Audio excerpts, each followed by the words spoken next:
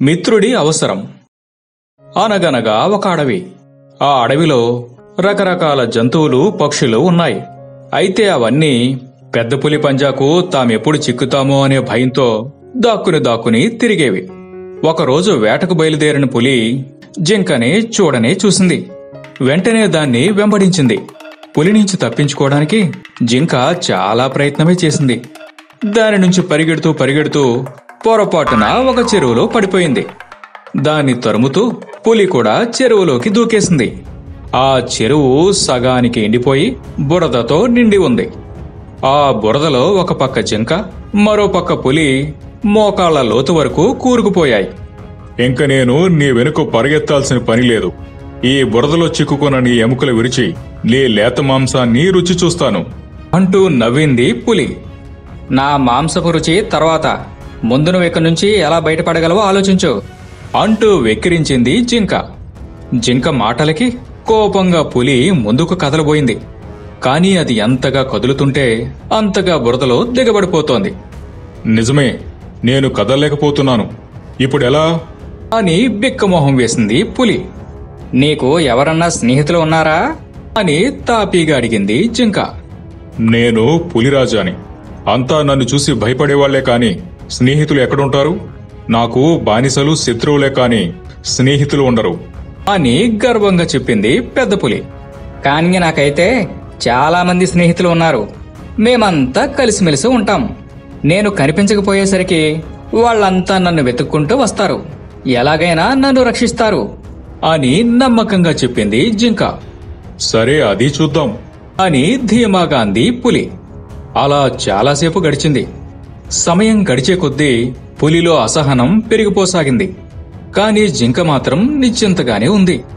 సాయంత్రం అయింది. అసలే ఆకలితో ఉన్న పులి ఢీలా పడిపోయింది. కాని తన స్నేహితుల మీద ఉన్న నమ్మకంతో జింక మాత్రం నిబ్బరంగా నిలబడి ఉంది. ఇంతలో చెట్లు చాటు నుంచి ముందు ఓ జింకపిల్ల చెరువు వైపు తొంగి చూసింది. ఆ తర్వాత మరో జింక. దాని వెనుకే ఇంకో జింక. వరుస పెట్టి ఓ జింకల మంద చెరువు గట్టుకి చేరింది. వాటికి అక్కడ పరిస్థితి అర్థమైపోయింది. ఎలాగోలా తన నేస్తాన్ని రక్షించుకోవాలని అనుకున్నాయి. దగ్గరలో ఉన్న తాడును విసిరి బురదలో చిక్కుకున్న జింకని ఒడ్డుకి లాగాయి.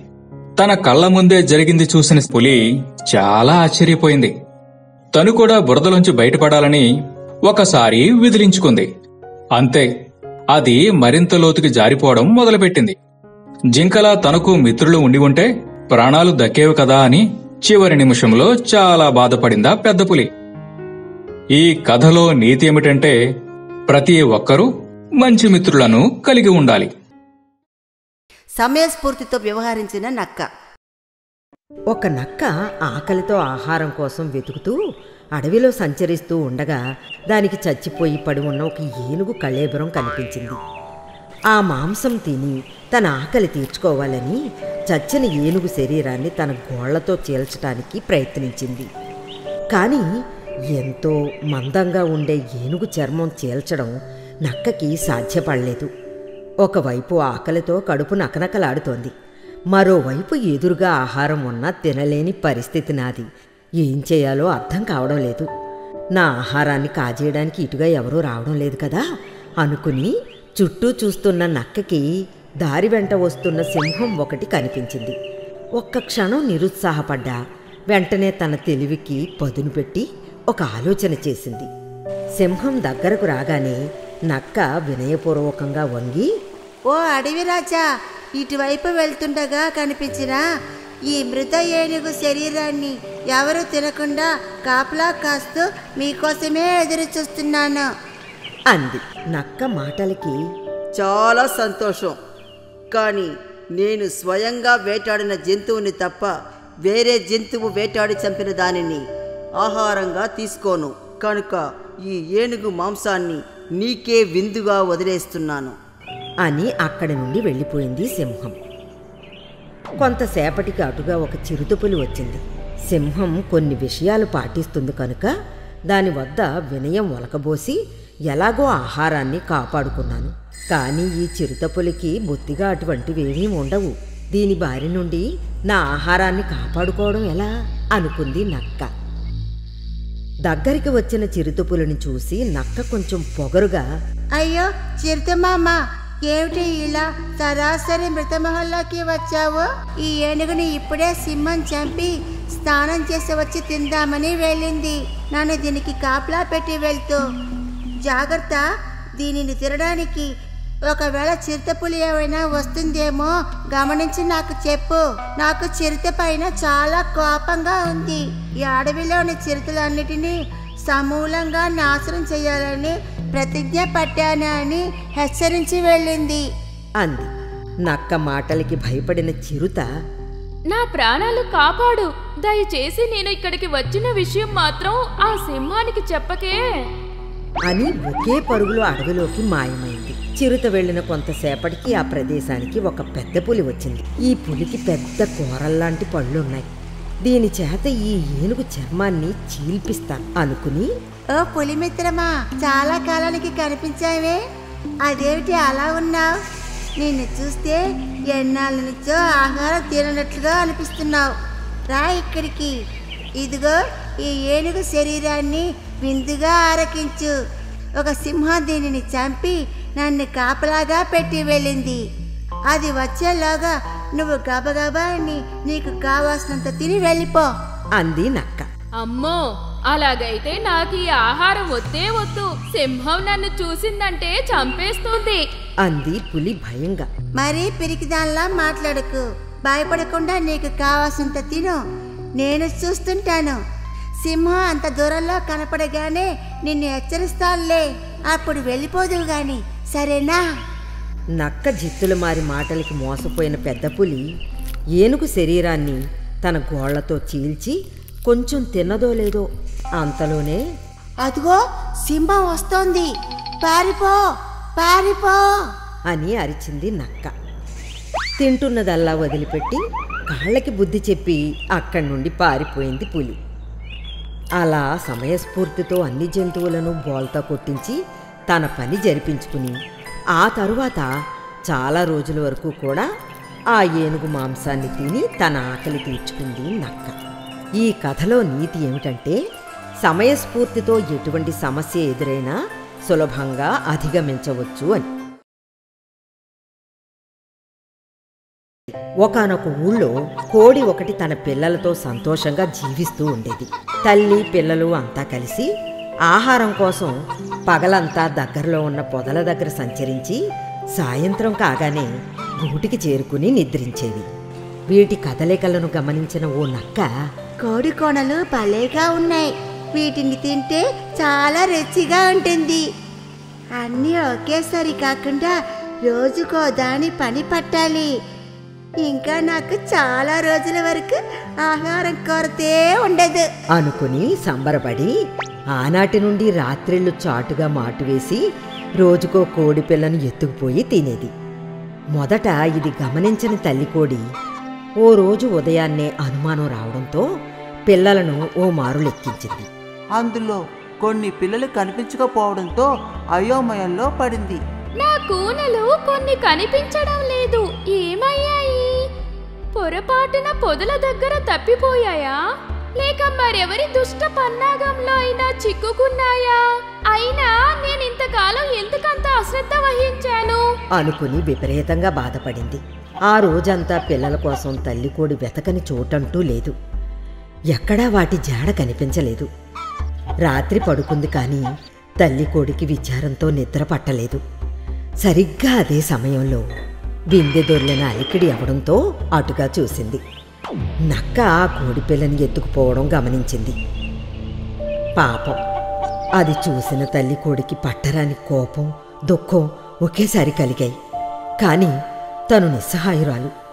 ఆ జిత్తుల మారి నక్కకి తగిన బుద్ధి చెప్పి మిగిలిన పిల్లలనైనా కాపాడుకోవాలని ఆ రాత్రంతా నిద్రపోకుండా తీవ్రంగా ఆలోచించి ఓ నిర్ణయానికి వచ్చింది. తెల్లారగానే చాలా చోట్లకు తిరిగి నక్కకు బాగా ఇష్టమైన మేక మాంసాన్ని సంపాదించింది. దాన్ని ఓ బిందులో ఉంచింది. ఎప్పట్లాగే నక్క ఆ రాత్రి కూడా వచ్చింది. దానికి ముందుగా ఘుమఘుమల వాసన రావడంతో బిందె దగ్గరకు వెళ్ళి లోపలికి చూసింది. బిందెలో దానికి చాలా ఇష్టమైన మాంసం కనిపించింది. ఆహా ఆహా ఇవాళ నా పంట పడినట్టుంది. ముందు చాలా రుచికరమైన దీన్ని తింటాను. తర్వాత ఒక కోడి పిల్లని ఎత్తుకుని పోయి రేపు అల్పాహారంగా తింటాను. అనుకుంటూ చాలా సంబరపడి తలను బిందెలోకి పెట్టే ప్రయత్నం చేసింది. కానీ నక్క దురదృష్టం కొద్దీ దాని తల అందులోకి దూరదు. అందులో ఉన్న మాంసం నోటికి అందదు. ఎందుకు ఇలా అయింది? నేను ఈ మాంసాన్ని విడిచిపెట్టే ప్రసక్తే లేదు. ఎలాగైనా సాధించి తీర్తాను. అని బిందె లోపలికి తల పెట్టడానికి చాలా ప్రయత్నాలు చేసింది. ఇదంతా చాటుగా తల్లి పిల్లకోడులు చూస్తుంటాయి. ఆఖరికి బిందెలో తల మొత్తం పెట్టేసిన నక్క తర్వాత తల బయటకు రాక నానా తంటాలు పడింది. కొద్ది రోజుల్లోనే ఆహారం తినడానికి నీళ్ళు తాగడానికి లేక నక్క చనిపోయింది. తర్వాత కోడి మళ్ళీ తన పిల్లలతో సంతోషంగా గడిపింది. అందుకే పెద్దలు చెబుతారు ఎవరు తీసిన గూతులో వాళ్ళే పడతారు అని. చిన్న చీమ పెద్ద ఏనుగు నీతి కథ. ఒక చీమ తమ కుటుంబ సభ్యులతో సహా ఒక ఏనుగు చెవిలో కాపురం పెట్టాలనుకుంది. ఆ చీమ ఏనుగు ముందు నిల్చొని పెద్దగా అరుస్తూ ఓ ఏనుగు నా మాట విను. నేను నా కుటుంబ సభ్యులు నీ చెవిలో నివసించేందుకు నిర్ణయించుకున్నాం. నీకు ఒక వారం అవకాశం ఇస్తున్నాను. నువ్వు ఆలోచించు. నీకేదైనా అభ్యంతరాలు ఉంటే చెప్పు. ఆ అభ్యంతరాలు సరైనవో కావు అని మేము చర్చించుకుంటాం. సరేనా? అంది. తను ఎదురుగా ఓ చీమ ఉందని అదేదో అడుగుతుందని తెలియని ఏనుగు తన పనేదో తాను చేసుకుంటూ ఉంది. ఏదైనా అభ్యంతరం చెబుతుందేమోనని ఆహారాన్ని మోసుకెళ్తూ చీమ అప్పుడప్పుడు ఏనుక్కేసి చూసేది. వారం రోజులయ్యింది. ఏనుగుకు చీమ ఇచ్చిన గడువు ముగిసింది. ఏనుగుకి ఎలాంటి అభ్యంతరం లేదనుకొని తనకు తానే ఒక నిర్ణయానికి వచ్చింది చీమ ఏమాత్రం ఆలస్యం చేయకుండా చీమ తన కుటుంబ సభ్యులతో ఏనుగు చెవిలో నివసించేందుకు సమాయత్తమయ్యింది. చీమ చీమ భార్య చీమ పిల్లలు ఏనుగు చెవిలో కాపురం పెట్టాయి. ఏనుగు చెవిలో చీమల కుటుంబం మొత్తం హాయిగా గడిపింది. నెల రోజులు దాటాయి. చీమ భార్యకు ఇంకా ఆ చోటులోనే ఉండాలనిపించలేదు. వెంటనే అది తన భర్తతో మరి ఎక్కడికైనా వెళదాం. అని చెప్పింది. ఇంతకాలం తమకు ఆశ్రయం ఇచ్చిన ఏనుగు మనస్సు ఏమాత్రం నొప్పించక దాని చెవిలో నుంచి బయటకు రావాలనుకున్నాయి చీమలు. యజమాని చీమ ఏనుగుతో ఎంతో సున్నితంగా ఇలా చెప్పింది. ఓ ఏనుగు మేము మరో చోటికి వెళ్ళాలనుకున్నాం. నీ చెవిలో మేము హాయిగానే ఉన్నాం. ఏ ఇబ్బంది పడలేదు. నీ చెవి పెద్దదిగానే ఉంది. మేము దర్జాగా ఉండడానికి షికార్లు చేయడానికి సువిశాలంగా హాయిగా ఉంది. కానీ ఒక ఎద్దుకాడలో నివాసం ఉంటున్న తన మిత్రుల్ని కలవాలని నా భార్య ఆశపడుతోంది. నీకు ఈ విషయంలో ఎలాంటి అభ్యంతరమూ ఉండదనుకుంటాను. అలా ఒకవేళ అభ్యంతరం ఉంటే వారం రోజులో చెప్పు. వారం రోజులయ్యింది. ఏనుగు మళ్ళీ ఏం చెప్పలేదు. ఎందుకంటే తన చెవిలో చీమలు ఉన్న సంగతి ఆ ఏనుగుకి తెలిస్తేగా? చీమ కుటుంబం ఏనుగు చెవిలో నుంచి బయటకు వచ్చేసి తొండం మీదగా చేరి వెళ్ళి వస్తామంటూ వీడ్కోలు పలుకుతుండగా ఈగ వచ్చి చీమల పక్కనే తొండం మీద వాలింది. ఈగను తోలడానికి ఏనుగు ఒక్కసారిగా తొండం జాడించింది. ఇంకే ఈగ గాలిలోకి ఎగిరిపోయింది. చీమలు దగ్గరలో ఉన్న నదిలోకి ఎగిరి పడ్డాయి. ఏనుగు వైఖరి బట్టి తెలుసుకోవాల్సిందేంటంటే నువ్వు ఉన్నావన్న విషయాన్ని అందరూ గుర్తించాల్సిన పని లేదు. ఎవరి జీవితం వారిది.